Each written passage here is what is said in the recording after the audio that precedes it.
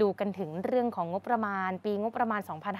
2564 ว่ามีการที่จะใช้จ่ายไปแล้วเท่าไหร่ แล้วก็ดูกันจนถึงเรื่องของไตรมาส 3 ตอนนี้เนี่ยอยู่ในไตรมาส 3 นะอืมก็ดูกันว่าไตรมาส 3 เนี่ยมีเป้าหมายเท่าไหร่ฮะมีการที่จะระบุออกมากันค่ะว่าสำหรับเรื่องของการเบิกจ่ายงบประมาณในปี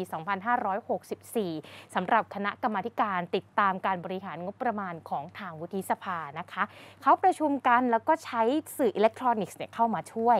ในการที่จะดูตั้งแต่ต้นปีงบ จนถึง 28 พฤษภาคม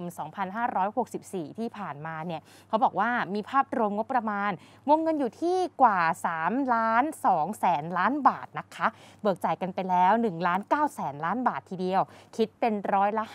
59.81 ก็คือเกินครึ่งมาเล็กน้อยนะคะ เป้าหมายไตรมาส3อยู่ที่ร้อยละ 77 ค่ะ ส่วนรายจ่ายประจำวงเงินงบประมาณอยู่ที่2ล้าน6แสนล้านบาท เบิกจ่ายไปแล้ว1ล้าน7แสนล้านบาท คิดเป็นร้อยละ65.74 จริง ๆ ตัวเลขมันมีรายละเอียดนะ แต่ว่าพูดเป็นเลขกลมๆ ให้คุณผู้ชมฟังทันแล้วก็เข้าใจกันแล้วกันเนาะเป้าหมายไตรมาส 3สำหรับรายจ่ายประจำเนี่ยอยู่ที่ร้อยละ80 ค่ะ ส่วนรายจ่ายลงทุนเนี่ยวงเงินงบประมาณจะอยู่ที่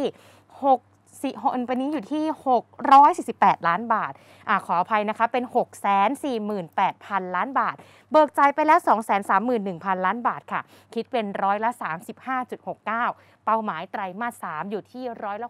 65 พูดถึงไตรมาส 3 เนี่ย ไตรมาส 3 ก็คือตั้งแต่มิถุนายน กรกฎาคม จนถึงสิงหาคมนะคะ ก่อนที่จะไปครึ่งปีหลังอีก 3 เดือนนั่นเองนะคะ ส่วนเงินกันไว้เบิกเหลื่อมในปีเนี่ยวันที่ 28 พฤษภาคม 2563 ขออภัยค่ะ เป็น 2564 นะคะ อยู่ที่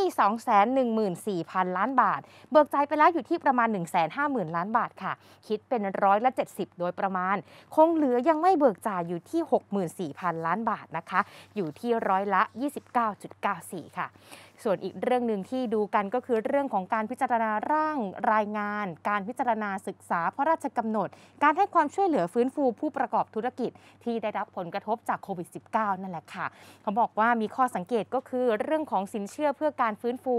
หรือโครงการพักทรัพย์พักหนี้ก็นับเป็นโครงการที่มีวัตถุประสงค์ช่วยเหลือผู้ประกอบธุรกิจ เพื่อที่จะได้มีสภาพคล่องในช่วงที่โควิด -19 แพร่ระบาด แต่ว่าหลักเกณฑ์เงื่อนไขเนี่ยยังไม่สอดคล้องกับสภาพปัญหาที่ผู้ประกอบธุรกิจต้องเจอหรือเปล่า มีสถานการณ์วิกฤตเนี่ยที่ค่อนข้างจะรุนแรงนะคะ ในช่วงโควิด -19 แพร่ระบาดแล้วก็ยังไม่ยุติลงง่าย ๆ ด้วยนะสิ ทางธนาคารแห่งประเทศไทยก็เลยต้องพิจารณายกเลิก หรือว่าปรับปรุงหลักเกณฑ์ที่เป็นอุปสรรคหรือไม่ ก็เป็นการตั้งข้อสังเกตจากคณะกรรมาการนะคะ เพื่อที่จะได้สะดวกในการเข้าถึงสินเชื่อให้เร็วขึ้น หรือไม่อย่างนั้นก็กำหนดเกณฑ์พิเศษให้สอดคล้องกับสถานการณ์วิกฤตขึ้นมาใช้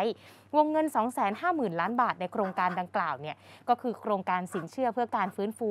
และอีก1 0 0 0 0แสนล้านบาทของโครงการพักทรัพย์พักหนี้เนี่ยก็จะได้เป็นประโยชน์ช่วยเสริมสภาพคล่องให้ผู้ประกอบธุรกิจที่กำลังเดือดร้อนเนี่ยจะได้เข้าถึงเงินทุนเพื่อที่จะไปหมุนเวียนในธุรกิจได้อย่างทั่วถึง แล้วก็รวดเร็วทันเหตุการณ์ จะได้ไม่ต้องเกิดความเสียหายที่ถึงขั้นต้องเลิกกิจการ หรือว่าล้มละลายค่ะ ครับก็เป็นการติดตามนะครับ